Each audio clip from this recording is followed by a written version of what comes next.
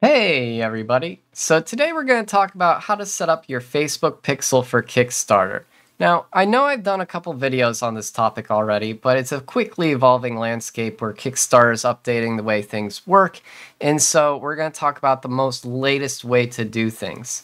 Uh, so what we're going to do here is we're going to first, you're going to need a business account for Facebook, and then you're going to need to create an ad account within that business account. Furthermore, a page, a Facebook page if you don't have one already, and then a data set pixel. and then you're going to finally connect that Facebook pixel to your ad account so that uh, it, it's all connected there.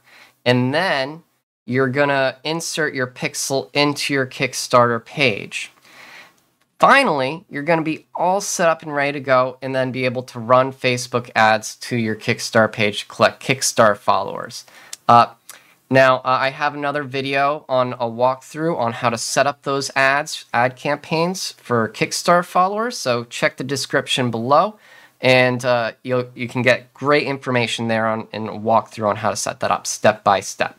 So first things first, let's jump right into it. The first thing you need to do, as mentioned, is create the business account. So to do that, you go to business.facebook.com slash create, and this will take you to uh, the creation tool.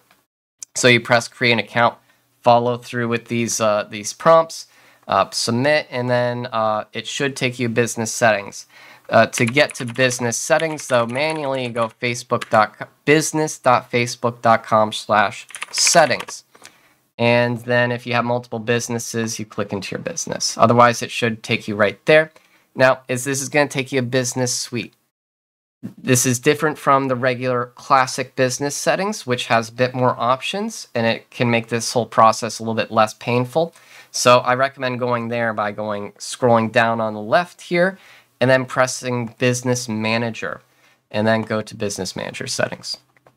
Okay, so now once you're in the classic business settings, I want you to go on the left here where it's under Accounts, where it says Ad Accounts.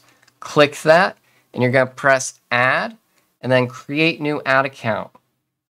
Okay, and then when you do that, you, you're going to you know, enter in your ad account name, currency, blah, blah, blah, time zone. You press Next, and then uh, it's you're going to follow through the prompts. And at the final prompt, it's going to ask for you to insert your payment information. You should do that because you're going to need to do it before you can start running ads. So once you're done there, uh, there's one more step. You press assign people, right?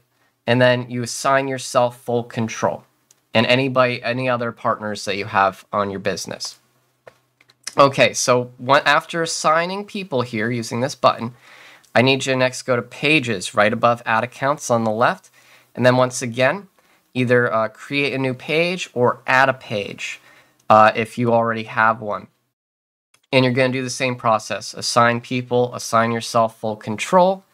And then uh, the final step is going to data sources and then data sets on the bottom left there.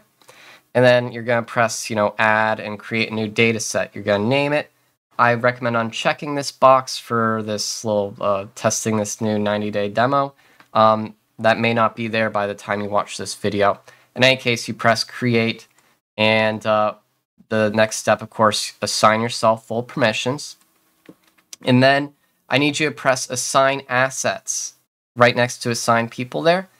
And then uh, connect your ad account that you just created to this dataset pixel. One last step. So uh, when you create a new business, uh, you're going to want to uh, set up all your business information. So you scroll down on the left here to the very bottom where it says business info. And then you're going to fill in your business information there. The reason for that is uh, uh, you're going to probably get capped at a spend limit of $50 a day. And if you have that pre-filled out, it's probably going to streamline the verification process when that happens so that you don't get hit with that limit. Okay, so now that you have the whole your whole business stuff set up, the next thing you're going to need to do is connect your data, uh, your pixel, to Kickstarter itself. And so you'll find under data sets, you go into your pixel, um, and then you'll find the pixel ID right here where it says ID number. So you can just copy that to your clipboard, go to kickstar.com, and then go into your, your project settings here. Uh, for instance, let's go into some of these, uh, projects. And then um, you would go under your build your campaign here on the left. And then scroll down to promotion. And then at the bottom of promotion, you'll find uh, the Meta Pixel where you can insert the pixel ID. Post it in there, press save, and then exit, you're done. Okay? The next step is we need to set up proper tracking. So, if you go back to uh, your business settings here and then go into ad accounts, you can press in the top right, open an ads manager, or you can simply go to adsmanager.facebook.com right? And that'll take you to the Ads Manager dashboard. All right, so I'm going to start off here with Adventure Board Games, uh, their ad account.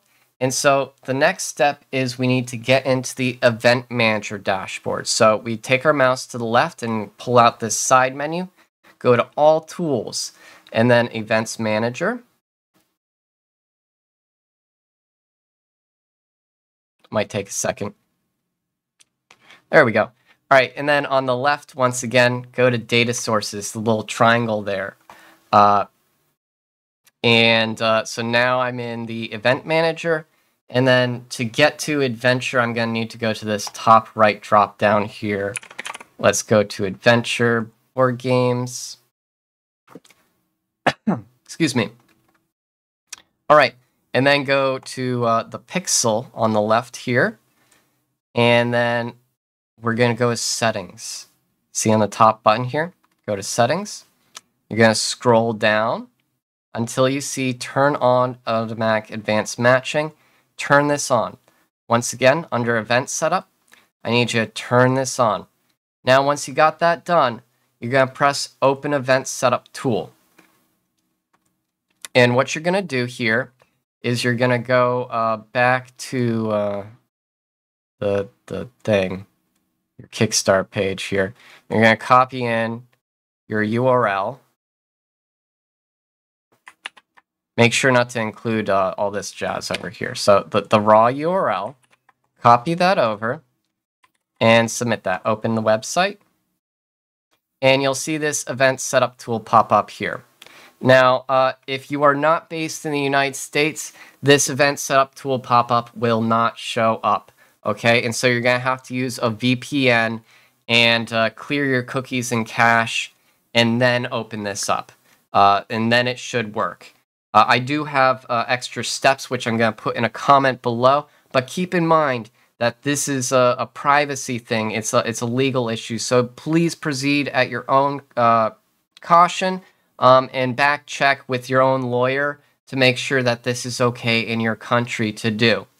All right. So now that we got that cleared and squared away, what you're going to need to do now is uh, when somebody first clicks, uh, you know, notify me on launch, and they're already signed into their, their Kickstarter account, uh, it's automatically going to fire lead event. You see right here on the Meta Pixel Helper plugin, it already fired this lead event when I pressed that button. So that's already covered. However, in any other possible pathway. If the user is not signed in and then they press that and then sign in, it's going to automatically follow and not fire lead event. Similarly, they press the open app button on their phone. The tracking is lost. They press login button. Um, there's there uh, there's just so many different things that the, the tracking is lost, and so we can try to recover that and improve results.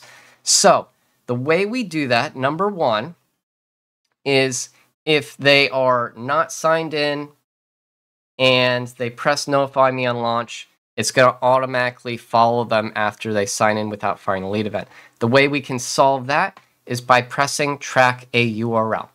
All right. And so when we press track a URL, uh, we can launch a lead event. All right. And then just press confirm. Okay. So now there is a key caveat here with this uh, thing is that uh, this only works um, on all devices except iOS 17.4 and beyond. So if you're having a problem where you're getting a lot of uh, lead events that aren't existing, like they're not actually followers, something you gotta double check is going into your ad manager.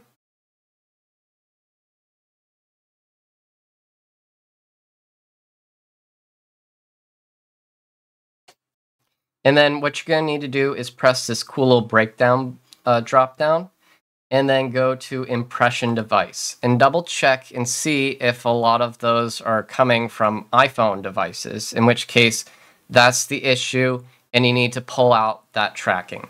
So to do that, you go to all events and then uh, delete that one. All right. Uh, but in 95, 98% projects, that is not an issue where it's not like super appealing to specifically iPhone uh, really uh, the wealthier iPhone users who have the latest iPhone devices released in the last 8 to 12 months. Um, and so uh, that's usually not a problem yet, in which case this is still valid. Uh, the other uh, uh, holes in this is that, like I said, you, if they press the open button on their browser, and then um, it, it takes them into the, uh, the phone app, and tracking is once again lost. Now, to solve that, you're going to have to hijack the page here to replicate a mobile page. And so what I did there is I'm going to right click on one of these buttons and press inspect. All right. And then this is going to break down the, the HTML for you. And so you double click art there or, you know, whatever text that you're replacing and type in open. Okay. That's all you need to do. And then you're going to press track new button here press that and then click open and then press lead and then confirm. All right, so now when somebody presses the lead button or the open button on their, their cell phone, opens up the app, it's going to fire that lead event. And in almost every case, somebody who actually presses that button, they do actually follow the campaign. So another thing that you could do is if you want to make your tracking more uh, robust, uh, and, and optimize more towards Kickstarter followers, but it can create extra lead events. So be, be aware of this. You do this once again, you inspect, replace it with log space in. All right. And then you do this, and then you press lead, press confirm, and then you're good. Okay, so now we have a couple different events here. We have the URL, open button, login button. And then, of course, if they uh, press notify me on launch, it already fires the lead event. So now our tracking system is set up fully. If there's a, if you want to get rid of these uh, extra events that occur, these uh, bonus events or ghost leads, as some people call them, remove the login. Okay, press delete under all events. And then once again, if you're having problem with iOS users, uh, delete the URL tracking. And then at that point, what you would have is the most accurate possible tracking that you can achieve with the current technology that's available to you, which is the open button and then the basic uh, default Kickstarter tracking with the notify me on launch button. All right, so I'm going to set that back up real quick. Lead, confirm, and then track the, uh, the login button here. Once again, lead, confirm. All right, so now I'm going to press Finish Setup here in the top right, and we're all good. These were the events added. Confirm, finish, boom, done. All right. So that's kind of all there was to it. Uh, and now you should be able to track. And once again, I present different solutions here for you to either make your tracking more accurate or more robust and optimized towards Kickstarter users. I find the more robust option with you know all these different button trackings uh, and the URL tracking to uh, work best with say board games, Dungeons and Dragon procs, and video games. If uh, your target consumer is not necessarily Kickstarter power users or people very familiar with Kickstarter, you're going to want to uh, make your tracking more accurate, in which case you just want to track the open button. Okay? And that's that's all you need to do. The next step, of course, is to start running your ads. So check the, the description below, like I said. Uh, and we got another video hooked up there for you on a walkthrough on creating these Facebook ad campaigns for Kickstarter followers. Well, thank you for watching. I hope you learned something new, and I wish you a wonderful day. Take care.